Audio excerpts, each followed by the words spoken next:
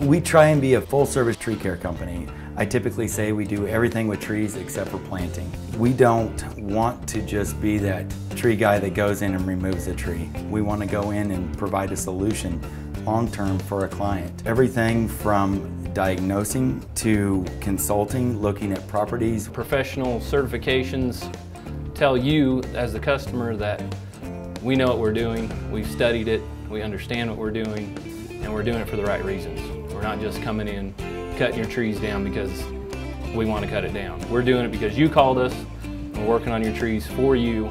They did a wonderful job for me. They came out exactly when they said they would. Uh, they reviewed the problems to begin with, and then came up with the solutions, followed through beautifully, even telephoning after they did the work.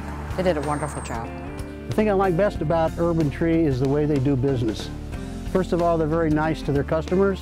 They show up on time. They do what you ask them to do, and they're gone. They leave my yard the way it was when they got here. They pick up their mess. They don't, they don't leave anything.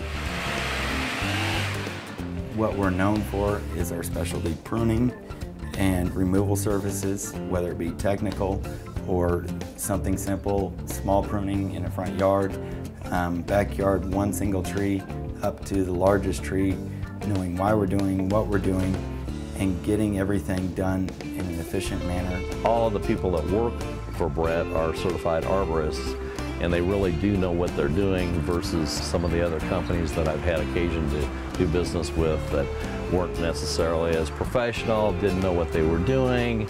I was very, very happy and satisfied with what we ended up with. I said, if you need an arborist, yeah, call Urban Tree.